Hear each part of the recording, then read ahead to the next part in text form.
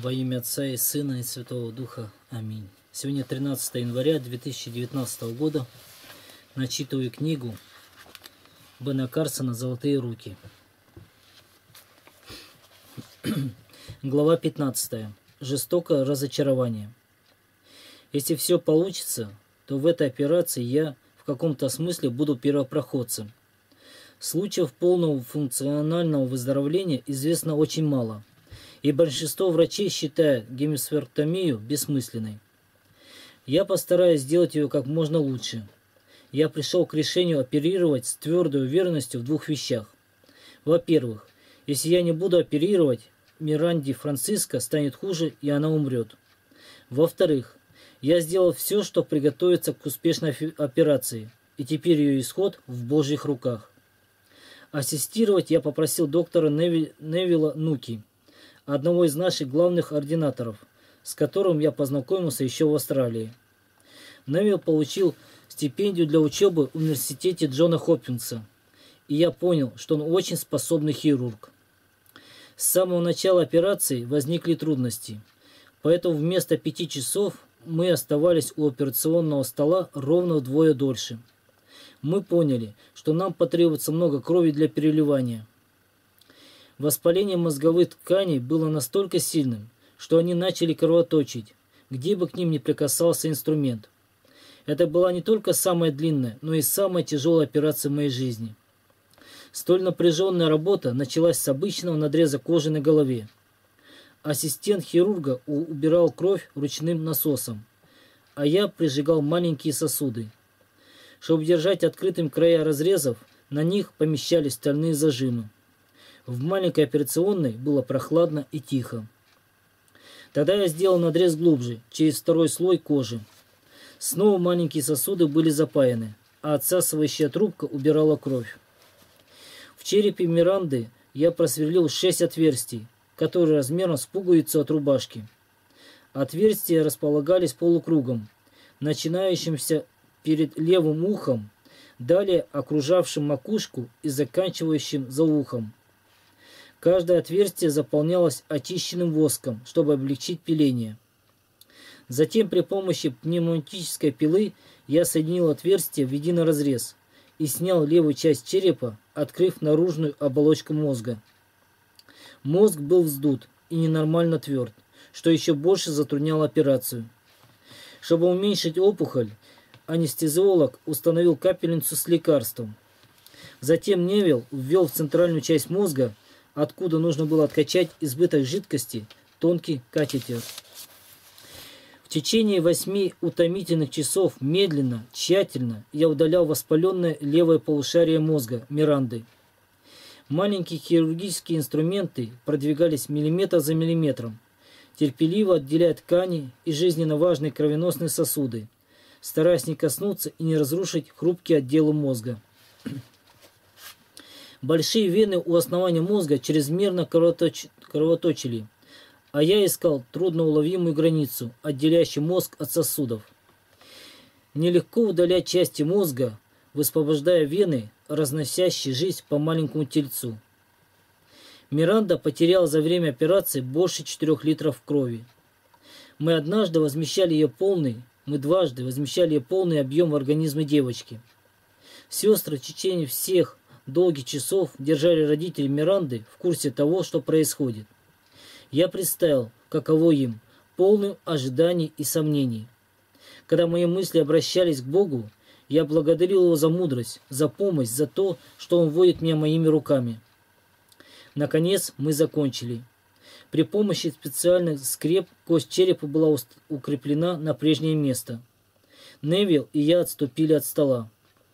Операционная сестра взяла из моих рук последний инструмент. Я позволил себе роскошь пошевелить плечами, покачать головой. Мы с Невиллом и вся остальная операционная бригада успешно удалили левое полушарие. Невозможное свершилось. Но что будет дальше? Мы не знали, прекратятся ли судороги. Мы не знали, сможет ли Миранда снова ходить и разговаривать. Нам оставалось только одно – сесть и ждать. Невилл и я отступили. Сестры откинули стерильную простыню, анестезиолог отключил многочисленные аппараты, которые поддерживали жизнь Миранды. Даже аппарат искусственного дыхания был отключен, и теперь она дышала самостоятельно. Я внимательно глядел на ее, ища какие-нибудь осмысленные движения, но их не было.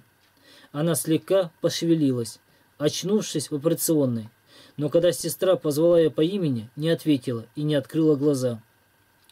«Еще рано», — подумал я, глядя на, на Невилла. «Она скоро проснется, так ли?» Знать наверняка мы не могли. Десять часов провели ее родители в комнате ожидания. Они отказывались пойти перекусить или ненадолго прогуляться, но, надеясь и молясь, оставались там. Уютно окрашена в мягкие цвета комната ожидания была сделана максимально удобной.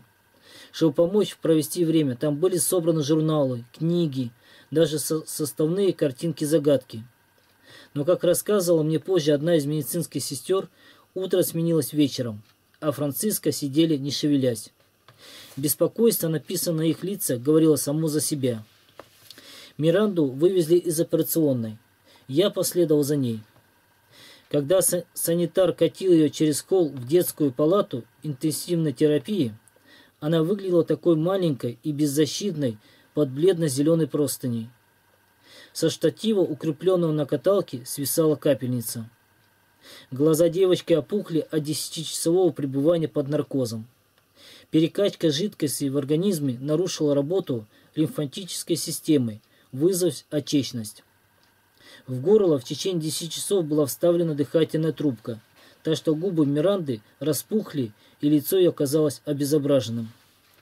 Франциско, ловивший каждый звук, услышали, как каталка выехала в холл и выбежали навстречу. «Подождите!» – тихо попросила Терри. Ее глаза покраснели, лицо побледнело. Она подошла к каталке, наклонилась и поцеловала дочь. Глаза Миранды на секунду приоткрылись. «Мамочка, папочка, я вас люблю», — проговорила она. Терри разрыдалась от счастья. Да и Луис тер глаза.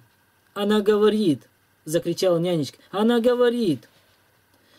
Изумленный, взволнованный, я молча стоял тут же, разделяя со всеми радость этой минуты. Мы надеялись на выздоровление, но никто из нас не предполагал, что оно может быть таким стремительным. Молча я благодарил Бога за то, что Он сохранил жизнь этой прекрасной малышки. И вдруг изумленно вздохнул, как будто значение их беседы только сейчас достигло моего мозга. Миранда открыла глаза. Она узнала родителей.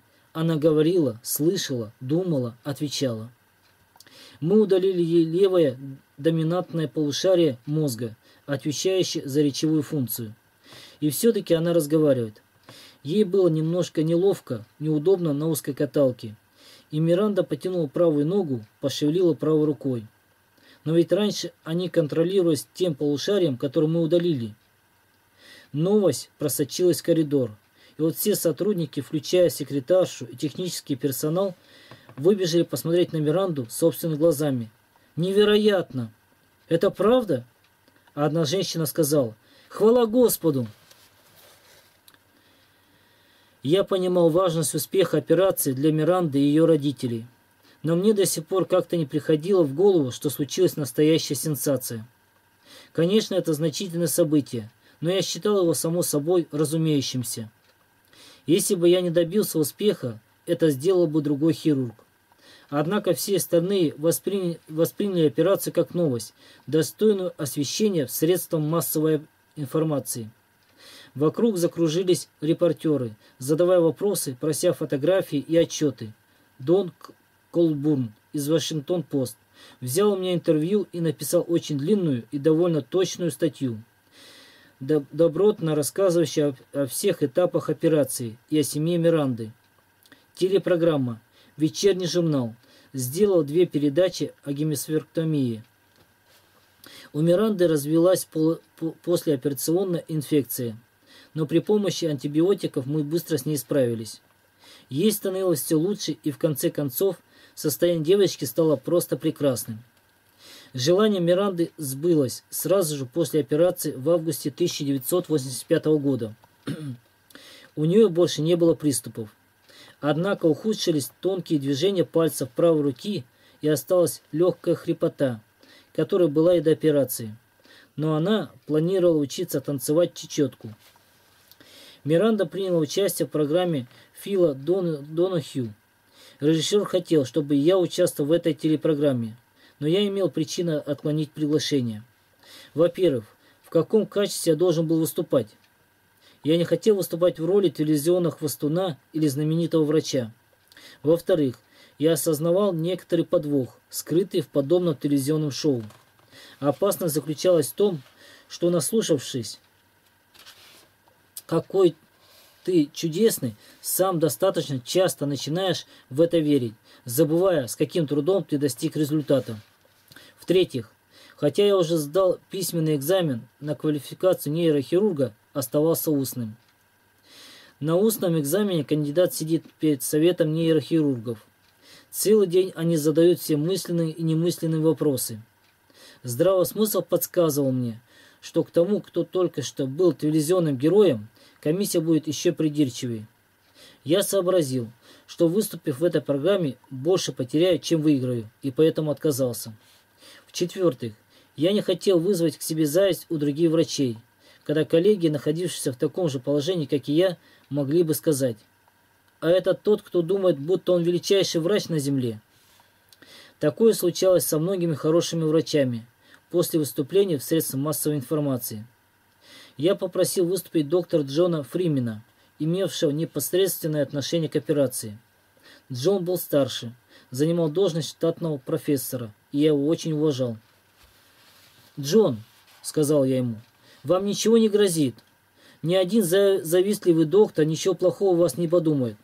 Вы заслужили вашу репутацию, и всех вас уважают. Так почему бы вам не выступить вместо меня на телевидении? Джон не был в восторге от этой перспективы, но согласился, понимая мои доводы. Он выступил в программе Фила Донахью и объяснил, что такое гемисфектомия – Хотя это было мое первое столкновение со средством массовой информации, я стремился избегать подобного освещения событий на телевидении, по радио и в печати. Каждый раз, получая такое предложение, я сначала внимательно его обдумывал, решая, заслужит ли оно внимания, и задавал себе главный вопрос. Какова цель этого интервью? Если я приходил к выводу, что целью была реклама или развлечение публики, то объяснял журналистам, что не хочу иметь с ними никакого дела. Миранда хорошо себя чувствовал без левой половины мозга благодаря феномену, который мы называем пластичностью. Теперь известно, что два мозговых полушария разделены не так радикально, как думали раньше.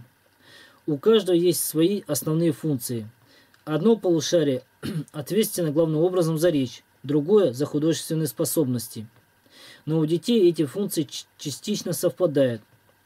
Благодаря пластичности управление может быть передано от одной части мозговых клеток к другой.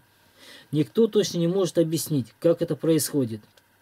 Моя теория, разделяемая многими специалистами, заключается в том, что люди рождаются с недифференцированными клетками, которые еще не стали тем, чем должны стать. Или, как я однажды сказал – они еще не стали взрослыми. Если что-то случается с частью клеток, уже имеющих свою определенную функцию, эти недифференцированные клетки, еще обладающие способностью к изменениям, исполняют функции уничтоженных или нефункционирующих. С возрастом многофункциональные с разными возможностями клетки становятся более дифференцированными. Способность изменяться и замещать другие сохраняется лишь у немногих из них. К тому времени, когда ребенок достигает возраста с 10 до 12 лет, большинство таких универсальных клеток уже полностью трансформировались для той деятельности, которой они должны теперь заниматься. И они уже не могут при необходимости принять на себя функцию другой части мозга. Поэтому пластичность имеет место только у детей. Однако я учитываю не только возраст пациентов, я смотрю также на то, когда появились нарушения. Например, Кристине Хатчинс я сделал операцию в 21 год, поскольку ее приступы также не поддавались лечению. У нее припадки начались, когда ей исполнилось 7 лет, и сравнительно медленно прогрессировали. Я предполагаю, по-видимому, правильно, что ее мозг медленно разрушался, начиная с 7 лет, но шансы заключались в том, что многие функции пораженных тканей в течение этого времени уже были переданы другим частям мозга. Хотя Кристина старше всех остальных моих пациентов, мы провели гемисферктомию. Девушка вернулась к учебе и учится неплохо. Из 22 пациентов только один был мужского пола. Я не могу это объяснить. Теоретически мозговые опухоли у женщин встречаются не чаще, чем у мужчин. И я уверен, что это случайность, и со временем счет сравняется. Кэрол Джеймс, моя ассистентка и правая рука, часто дразнит меня, говоря, «Дело в том, что женщине, чтобы быть такой же умной, как мужчина, достаточно одной половины мозга. Поэтому вы смогли успешно сделать операцию стольким женщинам. У 95% детей после гемисферктомии пропадают судороги. У остальных 5% судороги случаются редко. Больше 95% маленьких пациентов улучшили после операции свои интеллектуальные показатели, потому что теперь они не страдают от судорог и не поглощают столько лекарств. Я бы сказал, что улучшилось состояние всех 100% пациентов. Конечно, когда операция приносит пациенту облегчение, мы также переживаем удивительный духовный подъем. Теперь гемисферктомию применяют чаще. Ее начали делать и в других больницах. Я знаю, например, что к концу 1988 года хирурги Калифорнического университета в Лос-Анджелесе сделали уже 6 таких операций. Насколько мне известно, из всех нейрохирургов, работающих в настоящее время, я их сделал больше всех. Доктор Расмусен еще жив, но уже не практикует. Главная причина большого количества удачных операций, выполненных в больнице Джона Хопкинса, заключается в том, что у нас уникальная ситуация. Врачи из отделения детской неврологии и нейрохирургии отлично ладят между собой. В противоположность тому, что я наблюдал иногда в Австралии, мы не полагаемся на звезд. За год пребывания в стране антиподов я с горечью отметил, что некоторые консультанты не заинтересованы в успехах других врачей. В результате и работающие под их началом не всегда стараются все делать наилучшим образом. То, что мы действуем заодно в детской палате интенсивной терапии, улучшают все аспекты, аспекты нашей работы, включая набор персонала. Мы – друзья. Нам хорошо работается вместе. Наше призвание – избавлять от боли. Кроме того, нас волнуют проблемы друг друга. Мы – команда, и Бен Карсон – только часть этой команды. После всех сделанных мною гемисферктомий умер только один пациент. С тех пор я сделал еще более 30 операций. Самый младший из моих пациентов является трехмесячная Кэрри Джойс. Операция была совершенно обыкновенной. Но потом у Кэрри началось сильное кровотечение из-за недостатка тромбоцитов в крови. Оно было связано с оставшимся здоровым полушарием. Однако нам удалось решить проблему, и девочка постепенно выздоравливает. Судорог у нее больше нет. Наиболее тяжелым в эмоциональном плане стал для меня случай Дженнифер – Тут звездочка, это вымышленное имя. Мы сделали предварительную операцию, когда ей едва, едва два исполнилось пять месяцев. Дженнифер страдала ужасными судорогами. Ее несчастная мать находилась в совершеннейшем отчаянии. Припадки начались через несколько дней после рождения ребенка. Сделав электроэнцефалограмму, компьютерную томографию, Проведя исследования с помощью магнитного резонанса и другие обычные обследования, мы обнаружили в задней части правого полушария очаг патологической активности. Я решил удалить только эту часть. Операция, казалось, прошла успешно. Девочка быстро выздоравливала. Частота приступов заметно снизилась. Она начала реагировать на наши голоса. Значительно оживились движения, но, как оказалось, только на какое-то время. Потом судороги возобновились. 2 июля 1987 года я снова прооперировал девочку, удалив оставшуюся часть правого полушария. Маленькая Дженнифер очнулась после операции с сохранившейся подвижностью во всех частях тела. Операция заняла всего 8 часов, куда меньше, чем многие другие. Но эта работа из-за того, что ребенку было только 11 месяцев, вымотала меня куда больше обычного. Я уходил из операционной совершенно измученный, что для меня довольно странно. Сразу после операции я отправился домой, поскольку жил в 35 минутах езды на машине. За две мили до дома зазвучал сигнал вызова. Хотя причин неожиданного вызова могли быть десятки, интуитивно я понял, что-то случилось с Дженнифер. «Нет, нет!» – простонал я. «Только не она!» Я доехал до дома и сразу же позвонил в клинику. Старшая сестра ответила. «Как только вы уехали, Дженнифер стала хуже. Теперь они борются за ее жизнь». Быстро объяснив Канди ситуацию, я прыгнул в машину и доехал до больницы за 20 минут.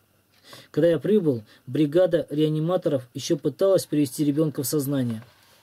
Я присоединился к ним, и мы продолжали наши попытки вернуть Дженнифер к жизни. «Боже, пожалуйста, не дай ей умереть, прошу тебя!» Через полтора часа я взглянул на сестру и увидел в ее глазах то, что уже знал сам. «Она не вернется назад», — сказал я. Потребовалась вся сила воли, чтобы, потеряв этого ребенка не разрыдаться. Я тут же вышел из реанимации и направился в комнату, где ждали родители. Они уставились на меня испуганными глазами. «Простите меня. Это все, что я мог сказать». В первый раз за свою взрослую жизнь я плакал на людях, сочувствуя родителям девочки и их ужасной потери. За 11 месяцев жизни маленькой Дженнифер на них попеременно накатывались волны тревоги и веры, отчаяния и оптимизма, надежды и печали. Она боролась за жизнь, услышал я свой голос. Почему же так получилось? Наша бригада работала хорошо, но мы столкнулись лицом к лицу с обстоятельствами, которые оказались сильнее медицины. Смотреть на страдания родителей было выше моих сил. Дженнифер была их единственным ребенком – у ее матери хватало проблем со здоровьем. Она лечилась в Национальном институте здравоохранения Бетседе. Собственные болезни, потеря дочери – это очень похоже на испытание старого Иова из Библии. Оба отец и мать плакали, а мы пытались утешить их и друг друга. Доктор Патти Ви Виннинг, детский невропатолог, ассистировавший меня во время операции, вошла в комнату. Она так же, как и я, переживала потерю. Сами, страдая от боли, мы пытались утешить родителей.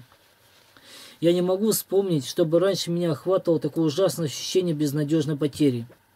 Рана была так глубока, что казалось, все, кого я люблю, умерли одновременно.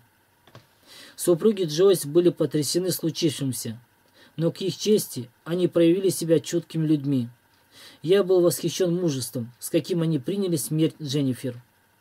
Они знали, мы сделали все, что могли, а гемисфектомия оставалась единственной возможностью спасти жизнь их дочери. Но Джойсы были умными людьми и задали множество важных вопросов. Они хотели прочесть те записи в истории болезни, которые мы им предоставили. Не раз они разговаривали с анестезиологом. Я еще несколько раз встречал их потом. Джойси говорили мне, что благодарны за все, что мы сделали для их девочки. Мы так и не поняли, почему Дженнифер умерла. Операция прошла успешно. Вскрытие не показало никаких нарушений. Как иногда бывает, причина смерти осталась тайной. В следующие дни я, конечно, продолжал работать, но не мог выйти из состояния депрессии. Даже теперь, когда я позволил себе так подробно рассказать о смерти Дженнифер, я все еще не могу сдержаться и чувствую, что слезы грозят хлынуть наружу. Мне, как хирургу, труднее, чем остальным, сообщать родителям фатальные новости о детях. Теперь, когда я сам стал отцом, это стало еще тяжелее, потому что я получил некоторое представление о том, что чувствуют родители, когда их дети болеют. И теперь я знаю, от чего так нелегко говорить о смерти ребенка. Когда новости плохие, что я могу сказать? Или чем могу помочь? Я знаю, как бы я себя чувствовал, если бы у одного из моих сыновей обнаружили опухоль мозга. я был бы похож на утопающего посреди океана, молящего кого-то, кого угодно бросить в спасательный круг. Это невыразимым словами иррациональный страх. Многие родители, приходящие в больницу Джона Хопкинса, находятся в таком отчаянии. Я и теперь не уверен, что полностью отправился от смерти Дженнифер. Каждый раз, когда умирает пациент, у меня остается шрам. Я получаю такую эмоциональную рану, как те, чей близкий умер на операционном столе. Я пытался выйти из депрессии, напоминая себе, что множество людей еще нуждаются в моей помощи. И несправедливо по отношению к ним так глубоко переживать неудачу, забывая о боли новых пациентов. Размышляя о своей реакции, я прихожу к выводу, что когда после операции с пациентом не все в порядке, я непроизвольно переживаю бремя ответственности за последствия. Может быть, так реагируют все врачи, по-настоящему заботящиеся о своих пациентах. Несколько раз я ловил себя на мысли. Если бы я не делал операцию, не случилось бы летального исхода. Если бы ее делал кто-то другой, может быть, у него все получилось бы лучше. Разумом я понимаю, как справляться с горечью таких размышлений. Часто я утешаю себя тем, что пациент все равно должен был умереть, а мы предприняли отважную попытку сохранить ему жизнь. Оглядываясь на свой путь хирурга и работу в больнице Джона Хопкинса, я напоминаю себе, что если бы я не оперировал, тысячи людей умерли бы. Некоторые хирурги справляются с неудачами лучше, чем другие – может быть, моя потребность обязательно достигать цели, стремление делать все как можно лучше становится причиной того, что я не слишком хорошо справляюсь с разочарованием неудачи. Несколько раз я говорил Канди. Мне кажется, Господь это знает, поэтому Он делает так, чтобы подобное со мной случалось нечасто. Несмотря на мою печаль под Дженнифер и отчаяние тех дней, когда я пытался с этим состоянием справиться, я бы не хотел, чтобы мои пациенты оставляли меня безразличным. Я работаю с людьми, оперирую их, Божьих созданий, страдающих и нуждающихся в помощи. Не знаю, как бы я мог работать над мозгом девочки, как бы мог держать ее жизнь в своих руках, если бы меня это не трогало. Я сильно привязан к больным детям, таким беззащитным и лишенным возможности жить полной жизнью. Слава тебе, Боже наш, слава тебе. Аллилуйя.